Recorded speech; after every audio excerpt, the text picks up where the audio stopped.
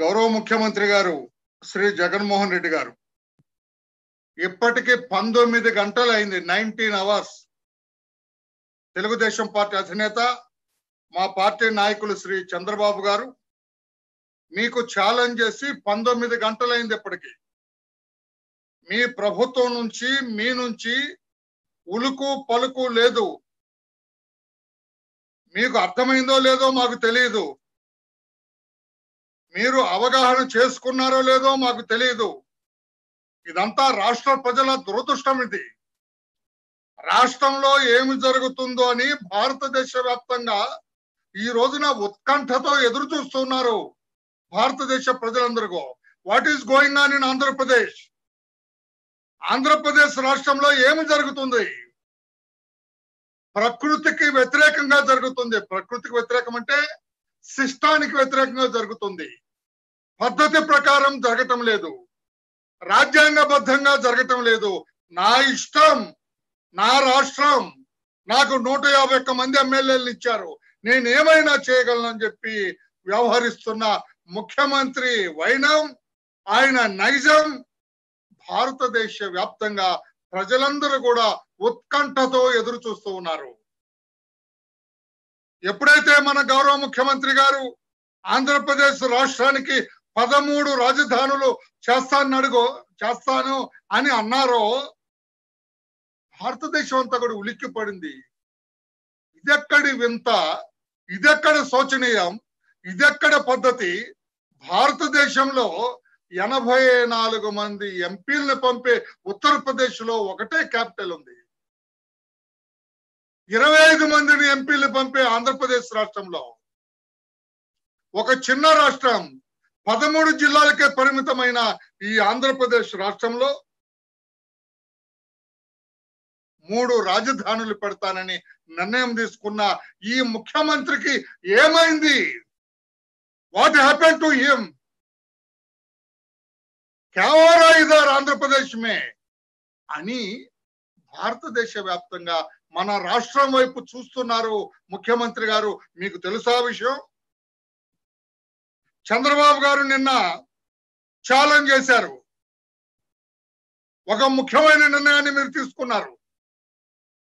దీనికి ప్రజా ఆమోదం కావాలి. ప్రజాభిప్రాయం కావాలి. మీరు మేనిఫెస్టోలో పెట్టలేదు ఈ విషయం. రాజ మేము అధికారంలోకి వస్తే రాజధానిని మారుస్తాము అని రెండు షీట్లు మేనిఫెస్టో ఏదో ఉంది కదా. గమ్మత్తుకు చూపించారు ఆ రోజున. ఇదే మా మేనిఫెస్టో అని ఒక కరపత్రాన్ని చూపించారు. ఆ కరపత్రాన్ని మీరు ముద్రించారా? మేము అధికారంలోకి వస్తే రాజధానిని మారుస్తాం అని మీరు ఏమైనా చెప్పారా?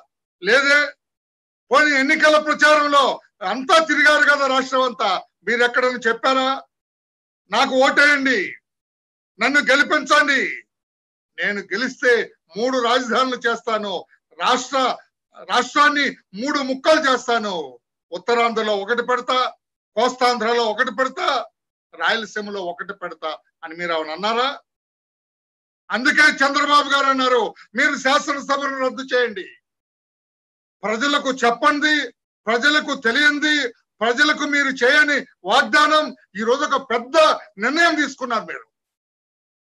ప్రజాభీష్టం కావాలి. ఒక రిఫరెండం కావాలి ప్రజల దగ్గర నుంచి. వాట్ ఇస్ ద రిఫరెండం మీరు శాసనసభ రద్దు చేసి ఎలక్షన్లకు పోవాలి. అదే ఈ రోజు రిఫరెండం మీకు తెలుస్తుందో లేదో మీకు అర్థమవుతుందో లేదో మీకు తెలియకపోతే ముఖ్యమంత్రి గారు పది మందిని అడగాలి పెద్దలను అడగాలి అనుభవజ్ఞులను అడగాలి. మీ మంత్రిమండలిలో మీకు సలహా చెప్పే మంత్రులు ఎవరు ఉన్నారని మేము అనుకోవట్లేదు. రాష్ట్ర ప్రజలు కూడా ఎవరు అనుకోవట్లేదు. మీ మంత్రిమండలి మాట మీరు వింటారు అని కూడా ఎవరు అనుకోవటం లేదు. మీ సలహాదారులు ఎవరు కూడా ఆటే సమర్థులు కారు. అది నేనంటున్న మాట కాదు సాక్షాత్తు న్యాయస్థానం చెప్పింది. సమర్థులు లేరు కనుక వారు మీకు సలహా ఇచ్చేది లేదు. సీనియర్ లీడర్స్ ఉన్నారు ఇతర రాష్ట్రాల్లో ఉన్నారు. ఢిల్లీ వెళ్ళండి ఎవరినన్నా అడగండి. విషయాలు తెలుసుకోండి. మీరింత పెద్ద నిర్ణయం తీసుకున్నప్పుడు ప్రజా అభిప్రాయం కావాలి. ప్రజా ఆమోదం కావాలి గౌరవ ముఖ్యమంత్రి గారు. అందుకే నిన్న మా అధినేత నారా చంద్రబాబు నాయుడు గారు మీకు ఒక ఛాలెంజ్ విసిరారు. ఛాలెంజ్ విసిరి పంతొమ్మిది గంటలైంది. మీ దగ్గర నుంచి ఉలుకు పలుకు లేదు. శాసనసభను రద్దు చేయమన్నారు. ఫ్రెష్ ఎలక్షన్లకు పోదాం. మీకు మెజారిటీ వచ్చి మరలా మీరు ముఖ్యమంత్రి అయితే మేము కిమ్మనకుండా కూర్చుంటాం రాజధాని విషయంలో. మీరు ఎక్కడ పెట్టుకొని మీ ఇడుపుల పాయలో పెట్టుకున్నా కూడా మేము నోరెత్తాం. మీరు కడపలో పెట్టుకున్నా మేము నోరెత్తాం. మీరు పులివెందులలో పెట్టుకున్నా కూడా మేము నోరెత్తే సారీ సార్. మీరు ఆ, పెట్టుకున్నా కూడా మేము మిమ్మల్ని అడగాం. ప్రజల అభిప్రాయం తీసుకోండి. నా రాజ మూడు రాజధానులు నా ఇష్టం వచ్చిన చోట పెడతా నాకు ఓటేయండి అని అడగండి మీరు. ప్రజలు నిజంగా మీకు ఓటు వేస్తే మిమ్మల్ని గెలిపిస్తే మీరు ముఖ్యమంత్రి అయితే మీరు ఎక్కడ పెట్టుకున్నా కూడా నేను చెప్పాను కదా మీ ఇంట్లో రాజధాని పెట్టుకున్నా కూడా మేము కిమ్ అనకుండా తాడేపల్లిలో మీ ఇంట్లోనే సెక్రటేరియట్ పెట్టుకున్నా మేము అడగమని చెప్పి కూడా మేము తెలియజేస్తున్నాం. ఇది మీరు నిర్ణయం తీసుకోవాలి. మీకేమైనా నైతిక విలువలు ఉంటాయి ఎస్ నేను ఎక్కడా ప్రస్తావించలేదు. నేను ఎక్కడా మూడు రాజధానులు చేస్తానని నేను అనలేదు. నాకు కొంచెం అవగాహన ఉంది. నాకు కొంచెం ఆలోచన ఉంది. పది మందిలో మంచి పేరు తెచ్చుకోవాలని కోరిక నాకున్నది. కనుక నేను శాసనసభ రద్దు చేస్తున్నా మరలా ఎలక్షన్లకు వెళ్తున్నా అని చెప్పండి మీకు అర్థమవుతుందో లేదో? ఎన్టీ రామారావు గారు కొంతమంది శాసనసభ్యులు నాదెళ్ళ భాస్కర్ రావు గారి దగ్గరికి వెళ్ళి ఒక నెల రోజులు ఆయన ముఖ్యమంత్రి అయితే మహోద్యమం జరిగింది భారతదేశ వ్యాప్తంగా ఆంధ్రప్రదేశ్ రాష్ట్రం అట్టుడికిపోయింది శాసనసభను రద్దు చేశారు ఆయన. ఎన్నికలకు వెళ్ళారు శభాష్ అన్నారు మళ్ళా ఎన్నికల్లో గెలిచారు. ఆ రకంగా గెలవాలి మీరు. ఆ రకంగా ప్రజలు తీర్పు కోరాలి. ఇంత ముఖ్యమైన నిర్ణయం తీసుకున్నప్పుడు మీ మాటని మీరు కాదన్నారు. ఇదొక మంచి మాట పాత్రికేయ సోదరులారా. ఆయన మాట అది ఆయన కాదన్నాడు. ఆయన చెప్పిన దానికి వ్యతిరేకంగా ఆయన నడుచుకున్నాడు. చిచి ఆ మాటలు కాదు ఇది అని చెప్పి కొత్త నిర్ణయం తీసుకున్నారు మీరు. అంతకుముందు ఏమన్నారు మీరు? మీరు ముఖ్యమంత్రి కాకముందు శాసనసభలు ఏమన్నారు? ఏం మాట్లాడారు? మిస్టర్ బద్రి అది కొంచెం ప్లే చేయమ్మా. గౌరవ ముఖ్యమంత్రి గారు తెలుగులో ఇంగ్లీష్లో కూడా మాట్లాడారు. అదొక్కసారి రాష్ట్ర ప్రజలకి ఈ పాత్రికేయులకి చూపించండి. మన గౌరవ ముఖ్యమంత్రి గారు ఎంత చక్కగా మాట్లాడినారో ఆ రోజున. నేను అడుగుతున్నా ఈ రోజున గౌరవ ముఖ్యమంత్రి గారు ఏంటి రభస?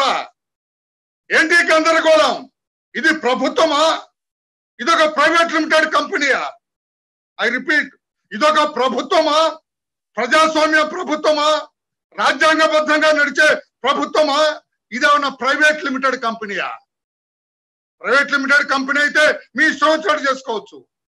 మీ ఇష్టం వచ్చిన నిర్ణయాలు తీసుకోవచ్చు. అలా తీసుకోవడానికి వీలేదే. రాజ్యాంగబద్ధంగా నడవాలి ప్రజాస్వామ్యయుతంగా పరిపాలన చేయాలి మీరు. మీరు శాసనసభలు అన్నది నిజం కాదా? కనీసం ముప్పై ఎకరాల విజయవాడలో రాజధాని పెట్టడానికి మాకు అభ్యంతరం లేదు. అమరావతి రాజధాని అన్నది నిజం కాదా? ఇంగ్లీష్లో కూడా చెప్పారు తెలుగు అర్థం కాదేమోనని. ఇంగ్లీష్లో కూడా మీరు చెప్పారు నిజం కాదా?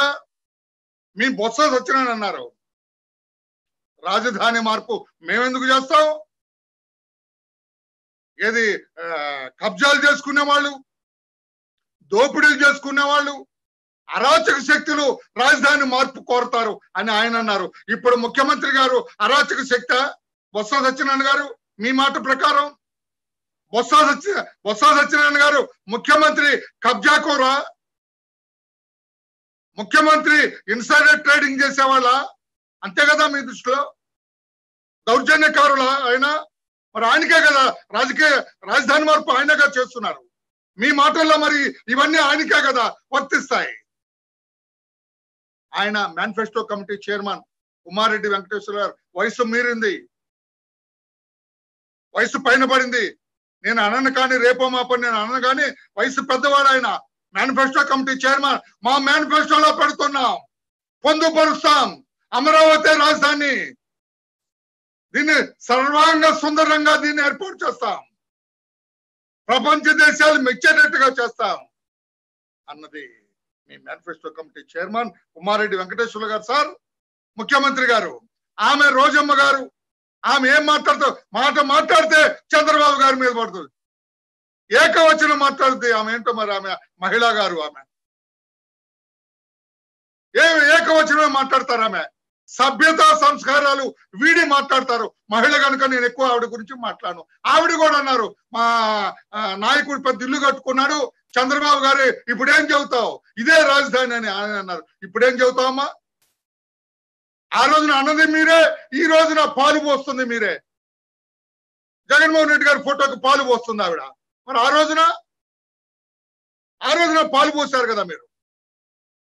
చంద్రబాబు గారి ఇంటికి వెళ్ళి పాలు పొంగిచ్చారు కదా మీరు. సారీ జగన్మోహన్ రెడ్డి ఇంటికి వెళ్ళి పాలు పొంగిచ్చారు కదా మీరు.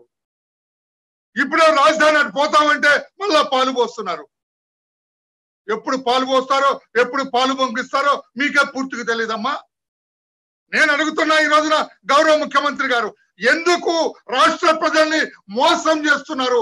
You are cheating the public are people of Andhra Pradesh why